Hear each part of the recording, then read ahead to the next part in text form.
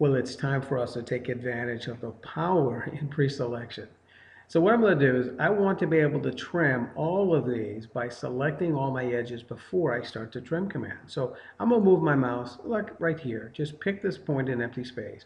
And I'm going to drag my selection window to the upper left hand corner and notice it'll select everything. Now manually, I'm going to select this edge here and this far right edge, and you'll see why in just a second. Here's my point. Don't be afraid to pick additional objects that maybe you don't have any intentions to using as a cutting edge, but you might need it as an extension or an edge you want to extend to. So I'm going to come up here to my modify tool and I'm going to select the trim command. Now, if I hold the shift key down and select a line segment, can you see what happened? It actually extend, extended it to the very first edge. In fact, using a selection window, I can select all of my lines at one time and notice it'll extend it. Now, holding down the shift key, let's go ahead and use the selection window again, and we'll go ahead and identify all of these line segments.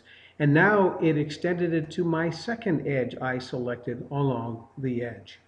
If I release the shift key now, uh, I'm going to trim off the axis I don't need anymore. So you can see by pre-selecting these two edges, I was able to extend it beyond the first edge to the second, but then use the first edge as a cutting edge. Now let's go back. I'm going to pick all of my circles. Now these are going to become arcs. And then very carefully, I'm going to select the edges that I need to get rid of.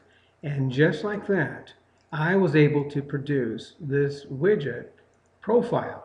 Now, in another tip, we're going to show you how to clean up the edges on the right.